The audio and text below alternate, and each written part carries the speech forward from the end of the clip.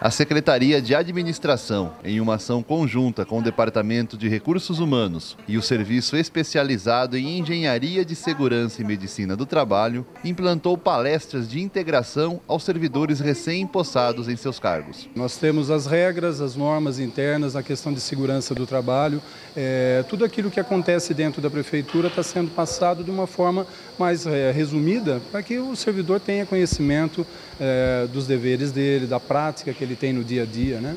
Na manhã de hoje, 18 novos servidores públicos municipais efetivos, sendo 11 serventes, dois psicólogos, um assistente social, um motorista e dois auxiliares administrativos, puderam durante a integração conhecer, além de seus direitos, os deveres inerentes a cada cargo.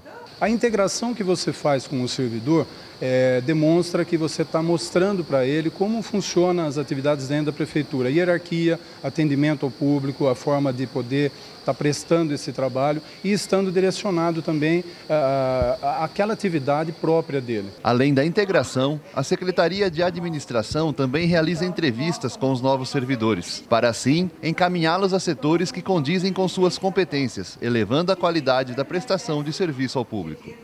E podendo trazer essa nova dinâmica das pessoas serem direcionadas para as atividades corretas, de forma correta, para que ele possa se empenhar mais no trabalho dele. Né?